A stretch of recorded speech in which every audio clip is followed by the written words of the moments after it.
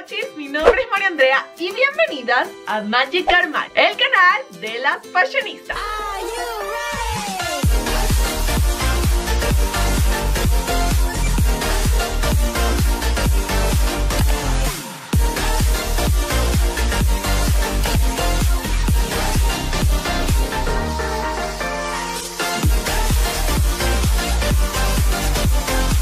Yo sé que estos videos traen demasiada, demasiada tramoya Yo no tengo la culpa que muchos de ustedes no les gusta que le digan la verdad. Pero esta vez venimos con los errores que normalmente cometemos con los zapatos No es un video para ofender Ni para que te lo tomes tan a pecho. Son simplemente tips que van a ayudarte a mejorar tu estilo de vida. Así que espero que les gusten muchísimo estos errores Y que si cometen alguno de ellos puedan mejorarlos por el bien de sus piecitos. Así que mi pechochi sin más vueltas Empecemos este video. Uno de estos errores es usar zapatos con la suela angosta.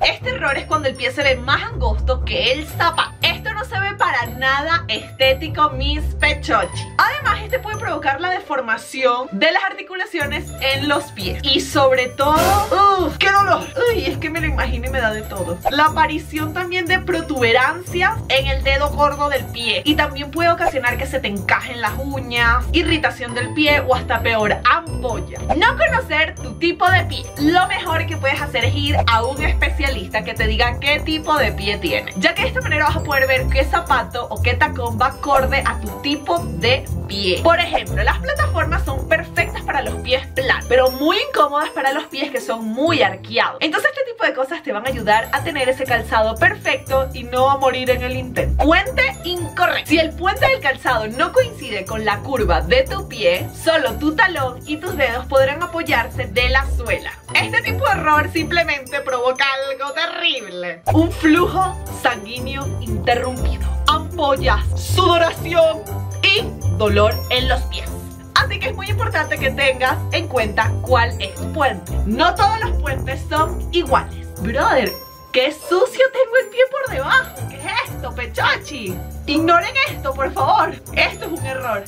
Esto es un error. Comprar sin probarte los tacones. Sin duda, este para mí es el peor error que mis pechochis pueden cometer. O sea, ¿cómo van a comprar algo sin probárselo? Es como para matarla. Gastar el y perderlo. Es como para Recuerden pechochis que no todas las formas son iguales, no todas las tallas son iguales. Podemos estar muy seguras de nuestra talla y a la hora de probarnos ese zapato Necesitamos una talla más o una talla menos. Así que sin duda necesitas siempre probarte tus zapatos cuando los vayas a comprar. Caminar con ellos, probarte los dos Porque siempre tenemos un pie más grande que otro. Realizar algunas posturas a ver si el zapato es cómodo. Recuerden que un zapato es como la pieza más importante y que nos debe quedar más cómoda en el cuerpo ya que con el uso si nos queda mal nos va a lastimar muchísimo y nos podría sacar heridas graves. Cuando digo graves es graves. Así que no compres sin probar. Pero Mari y si compras por internet no puedes probártelo pues en internet normalmente hay unas tablas de medidas en las cuales tú te mides tu pie, tanto de ancho como de largo. Y de esta manera puedes acercarte mucho más a que el zapato te quede bien. Y si compran en estas tiendas chinas ya saben que las tallas tienen que comprarlas una talla más grande porque son hormas pequeñas. Utilizar plantillas. Las plantillas tienen una gran función y es que te amortiguan el peso de tu cuerpo. Muchísimos zapatos, muchísimos, muchísimos carecen de estas plantillas que son muy, muy cómodas. Así que el error más grande que puedes hacer es que si ese zapato te está pareciendo muy incómodo No colocarle una plantilla de estas. Inténtalo y verás que será muchísimo mejor La suela es más larga que el pie ¡No! Esto muchísimo y es muy común en las sandalias bajitas o las chanclas. Lo ideal y la medida perfecta entre tus pies y la suela en la parte delantera es de un centímetro. No puede sobrepasar un centímetro. Este espacio es suficiente para que te puedas mover y puedas caminar perfectamente. Pero si el espacio es mayor tanto adelante como atrás Es muy incómodo caminar y esto puede ocasionar muchas veces que tu calzado se dañe O que tú te vayas de boca 放亲们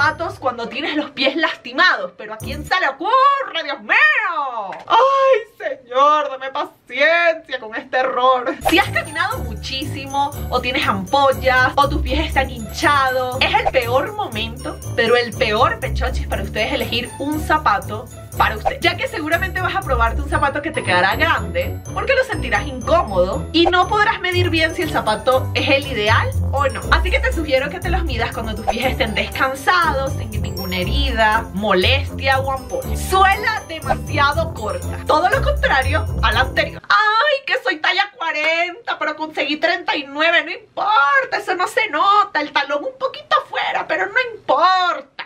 No, pechachis, Por los clavos de Cristo, se los suplico, por favor. No lo hagan no lo hagan.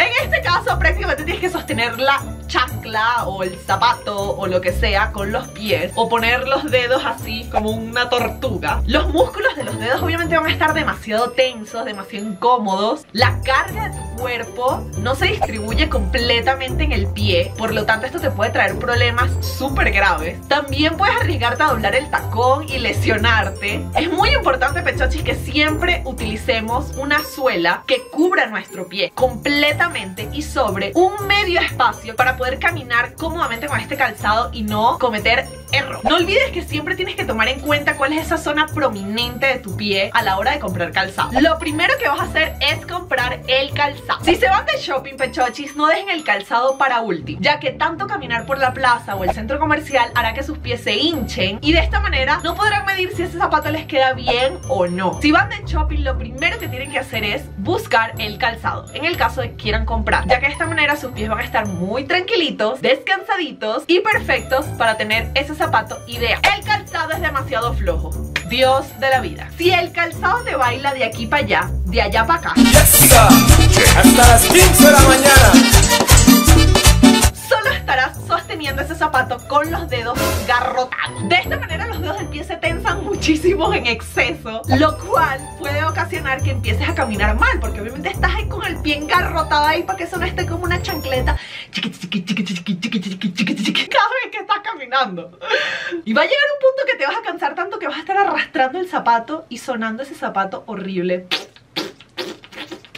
como resultado, que no lo crean pechochis, puede hacer que sus pies se deformen, incluyendo los dedos y las articulaciones. Y podría hacerte salir muchas ampollas. Y podría hacer que te mates en la calle de boca. Y peor aún, llegar a dolores de rodillas. Y peor, peor, peor aún, llegar a dolores de espalda. No podemos utilizar un calzado que nos quede flojo no podemos. Tacón resbaladito. Esto nos puede ocurrir muchísimo, es algo natural que puede surgir porque obviamente cuando estamos utilizando calzados, como en el caso de los tacones, nuestro pie puede llegar a sudar y este pie puede llegar a resbalarse y todos estos dedos pueden tratar de salir ¡oh! como puedan del zapato. Esto es normal, pecho. Lo que no es normal es que permitamos que esto ocurra teniendo las herramientas para que esto no ocurra.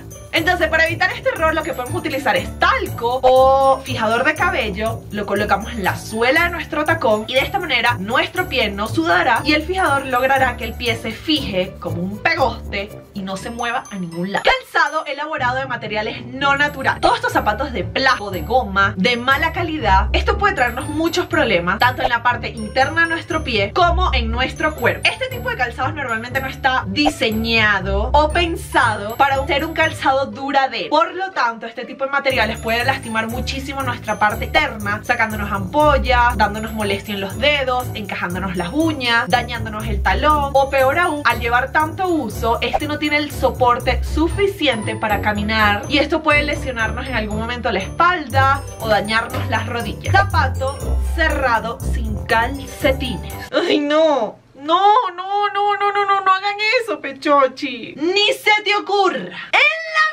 colocarte un zapato cerrado pechochi sin un calcetín. Sea cual sea el zapato, hay miles de calcetines diseñados para diferentes tipos de calzados. Lo hay en colores, lo hay transparentes, lo hay de todo. Hay medias y calcetines diseñadas para todo. Puedes utilizar el calzado de suela plana, como por ejemplo que tienen las zapatillas o las sandalias estas planitas, sin dañar tu salud. Esto significa de 1 a 3 horas diarias solamente. Si tú creerás que son cómodas, que no hacen daño, pues estás en lo incorrecto. Este tipo de suelas, como no tienen casi suela o soporte, son incapaces de suavizar el caminar diario y el golpe del talón sobre el suelo. Por lo que cada vez que caminas, tu columna recibe mínimas lesiones al pisar. Si eliges un calzado donde el pie se va a ver más angosto que el zapato, esto se verá terrible. Además de ser una opción poco estética, debes tener en cuenta que produce muchas deformaciones de las articulaciones y la aparición de los horribles juanetes en el pie, perdón,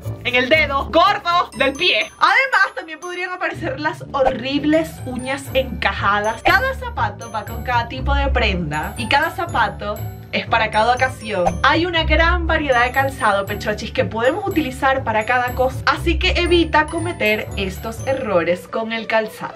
Usted no va a una boda de jardín con unos tacones de aguja.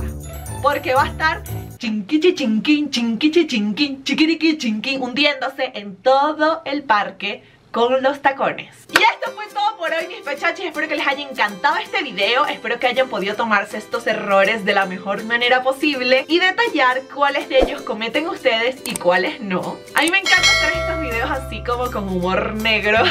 No sé, me encanta, me gusta demasiado Pero ustedes saben que yo las amo, las adoro. Y que bueno, estos errores tanto como ustedes yo los he cometido. Y la idea es aprender y no agarrárselo tan personal. Las adoro con todo, todo, todo mi corazón. Achocolatado y les mando un beso del tamaño de King Kong. ¡Chao!